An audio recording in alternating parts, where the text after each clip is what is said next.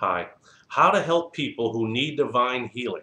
Now, this is part three in a series I'm putting together of how I would go about, or one of some of the ways that I go about trying to help people. But if you get nothing else out of this series or out of today's message, do know this we can help people who need divine healing.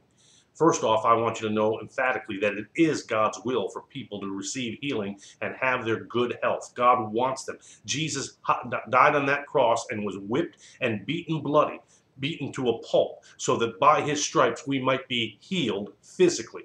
And Jesus proved that in, in his earthly ministry. He carried that down to his disciples, not just the apostles, but to his disciples. And I want to emphasize that. Now, uh, I've already mentioned the first thing I go after is the attitude. I want to check their attitude, adjust their attitude if necessary, get them in the right frame of mind. Simple as that. Then the, the second thing I had mentioned was about teaching them and inspiring them to go after it. Well, this session I want to call it going after it with knowledge, or at least with some knowledge. I think the most important knowledge is to come to the conclusion and to the determination that it is God's will to heal those people. That's not always the easiest thing to, to convince people with, but today I want to take up the story of uh, one of two people that Jesus said had great faith while he was walking on this earth. Both of those individuals were Gentiles. They weren't even children of Israel, whom Jesus was sent to and only exclusively to. And this was a particular woman. And uh, Jesus said that this woman had great faith. Now, the story itself can be found, you can read it in Matthew chapter 15 and in Mark chapter 7. I'd encourage you to read both portions of that and put them together. I'll try to help you with that today. But this woman not only went after it, but she went after it with some knowledge but she also had great opposition or obstacles that she had to overcome. And I want you to consider this story. Jesus had taken his disciples away to the Mediterranean sea coast, and there he wanted to just relax and refresh himself. And he would, the Bible says, where he was staying, he would that no one knew where he was. But this woman had knowledge of him.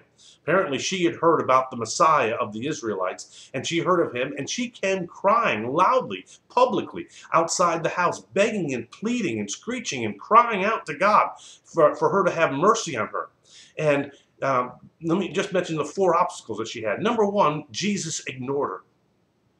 Jesus ignored her. The disciples wanted to put her away. They rejected her. They said, Lord, send her away. She's bothering us. Thirdly, it was uh, presented to her that it wasn't even God's will for him to heal anybody that was outside of the household of Israel at that time. And then fourth, she was insulted. Now, again, let's consider the story. She comes crying. Jesus ignores her. The type, disciples say, send her away, but she continues to go after it. She pushes past the disciples. That, that, uh, that front or whatever. And Jesus responded when he was ignoring her by telling his disciples, I'm only sent to the house, uh, to the lost sheep of Israel. In other words, it's not my Father's will. I can't do it. But she presses in. She moves forward. She comes forward. She gets past Peter, James, and John, the sons of thunder, gets, gets there, and then falls down at Jesus' feet. And she worships him and she says, Lord, please have mercy on me. Son of David, have mercy on me. My daughter is demon possessed. Please help her. And Jesus' response was, in many ways, probably an insult to her. And she must have been tempted with that insult to want to spit in his face or slap him across the face or something like that because he says to her directly, he says, It is not fit or meet or proper for us to give the children's bread to the dogs. He called her and her situation and her crisis a crisis among dogs. Very insulting, there's no doubt about it. But the woman responded by saying this to Jesus. Again, she went after it. She knew something. And we're going to get to the points of what she knew in a moment. But she went after it. She, uh, she says, Truth, Lord, but even the dogs eat the crumbs that fall off of, ma- off of the master's table or the children's bread. The children knock off the table. And Jesus said, O woman, great is thy faith. For this saying, go thy way. The devil has departed from your daughter. And she went back home, and she found when she got home that the devil had departed from her daughter. She was back in her right mind.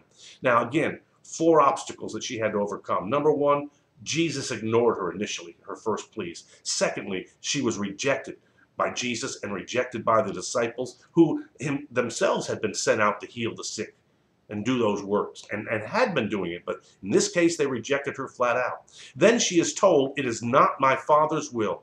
Jesus said, I'm only sent to the lost sheep of Israel. She had knowledge of that. And then, of course, again, she was insulted easily tempted to turn away and walk away. But here are some of the things that she did. Number one, she knew that God was a God of mercy. She cried out to Jesus, Oh, Jesus, son of David, have mercy on me. When you made reference to the son of David, David was probably the greatest example of God having mercy on one of his one of his kings and one of his uh, prophets. God had great mercy on him because he had to for him to overcome the things that he did.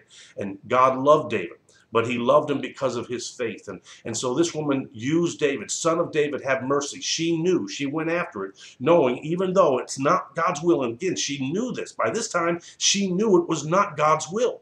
Jesus was unresponsive. He flat out told her, It's not right for me to do this for you. But she went after it, went past that, asking for mercy. She also knew again that it wasn't God's will. Third thing, she knew to worship him. She pressed in and she bowed down and she worshiped him. And that didn't mean she made a big, you know, uh, you know, well, she worshiped him from her heart. And then number four, she responded to him and said, Lord, what you're saying is the truth. I understand what you're saying. She complied with him. She didn't get angry with him. She didn't take the insult the wrong way. She even acknowledged, You're right. You're right. I don't deserve this. I don't deserve this healing.